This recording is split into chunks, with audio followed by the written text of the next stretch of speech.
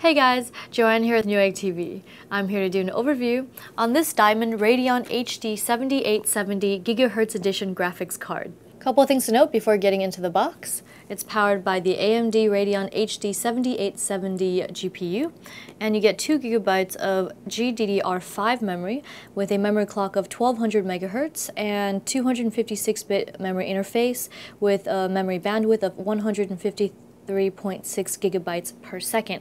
You also get an, um, an engine clock of 1000 megahertz. Now down here, as you can see, you get a five-year limited warranty and a couple of features to run through.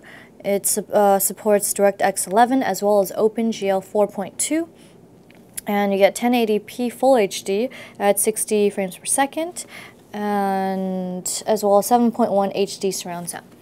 Now for a quick look at what connectors that you'll be getting, which I will show you in just a little bit, you will get a dual link DVI connector, a single link DVI connector, two mini uh, display ports, and an HDMI port.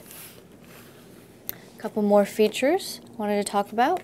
Um, the 1 gigahertz GPU is based on the 28 nanometer GCN architecture, and it features zero core power technology, which just means that it consumes virtually no power when idle and it comes with AMD Eyefinity multi-display technology. We can set up uh, up to three displays, and uh, AMD App Acceleration just accelerates your enable app applications, and AMD HD 3D which supports the latest stereoscopic 3D content and display technologies. You can play 3D games or watch Blu-ray content, uh, 3D videos. Here's everything that comes in the box. We have the card itself, which I will go over in just a little bit. But first, let's take a look at the accessories. We have some Diamond Game On and logo stickers. And in this packet, your user manual as well as installation guide. Your DVI to VGA adapter mini display port to single link DVI passive dongle. And finally, we have uh, this Crossfire bridge interconnect cable for a dual card setup.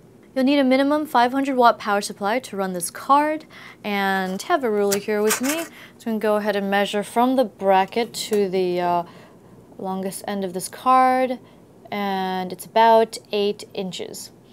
This card also weighs 2.2 pounds and let's go ahead and start um, on this side. Comes with a brown PCB. You can go ahead and remove these screws if you wish to uh, take off the heatsink uh, with the shroud.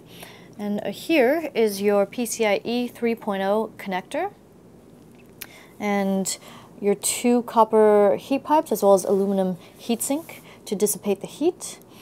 And to top that off, we have an open shroud. Um, it's made of this uh, smooth rubberized material that's very soft to the touch. And it comes with a 90 millimeter fan. Now on this side, we have your crossfire connector and your six pin power connector.